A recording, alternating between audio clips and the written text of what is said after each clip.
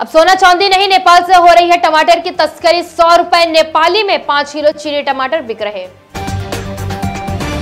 आम जनता पर महँगाई की मार, देश के चौवन शहरों में टमाटर के दाम 150 के पार 300 तक बढ़ सकती है कीमतें। महाराष्ट्र में टमाटर बेचकर किसान ने एक दिन में 18 लाख रुपए की कमाई की, अब तक डेढ़ करोड़ कमाए। मियाँ मुस्लिम बढ़ा रहे हो महँगाई, सीएम शर्मा ने सब्जियों की महँगाई के लिए मुस्लिमों को ठहराया जिम्मेदार। ओवैसी ने सीएम शर्मा के बयान का दिया करारा जवाब, कहा, इनके घर भैंस दूध न दे तो उसका इल्ज़ाम भी मियाँ पर ही लगाएँगे।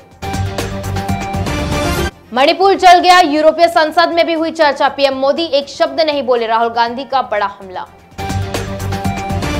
जेपी नड्डा की ओर से चिराग पासवान को मिला बैठक का न्योता, एनडीए की बैठक में होंगे शामिल।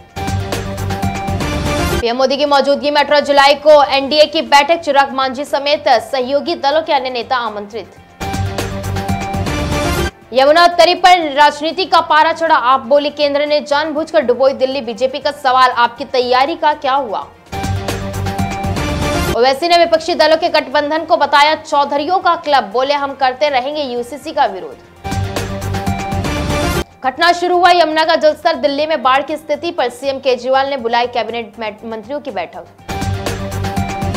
चाचा पवार से मिलने के बाद अजीत की पहली प्रतिक्रिया, बोले, मुझे परिवार से मिलने का पूरा हक है। खालिस्तान समर्थकों ने भारतीय छात्र पर किया जान से हमला, बीच सड़क पर लोहे की रॉड से की पिटाई उत्तर प्रदेश में पति ने दहेज के खातिर गर्भवती पत्नी की कर दी हत्या, जलाया शव। पाँच महीने पहले हुई थी शादी। स्पीच मामले में आज़म खान दोषी। करार कोर्ट ने सुनाई दो साल की कैद और हज़ार रुपए का जुर्माना। हिमाचल प्रदेश में बरसात ने निचले क्षेत्रों में भी मचाया कहर जल शक्ति विभाग को 114 करोड़ रुपए का हुआ नुकसान।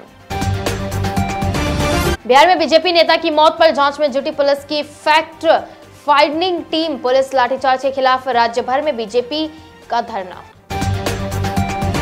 सका सुप्रीमो अखिलेश यादव को लगा बड़ा झटका दारा सिंह चौहान ने दिया विधायकी से इस्तीफा। यूएई के दौरे पर पीएम मोदी अभी धाबी में शासक Sheikh Mohammed bin Zayed Al Nahyan ने एयरपोर्ट पर किया स्वागत।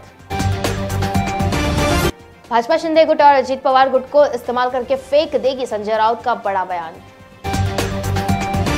शिंदे को हटाकर अजीत पवार को महाराष्ट्र का सीएम बनाया जा सकता है, संजय राउत ने किया बड़ा दावा। ग्रेटर नोएडा में अठारहवें फ्लोर से नीचे खड़ी मम्मी को बुला रहा था बेटा, बालकनी से गिरकर हुई मौत। जोधपुर में लाठी हॉकी से तोड़ा पैर युवक को बुरी तरह पीटा, सीसीटीवी में वायरल हुई वीडियो। गाजियाबाद में हिंदू लड़की का धर्मांतरण कराकर राहिल से कराया ऑनलाइन निकाह, मौलवी हुआ अरेस्ट। महाराष्ट्र के जलगांव में नमाज़ पढ़ने पर लगा पाबंदी, धारा एक सौ चौवालीस लागू, जवा मस्जिद पर रोक, हिंदू संगठन ने मंदिर में होने का किया दावा।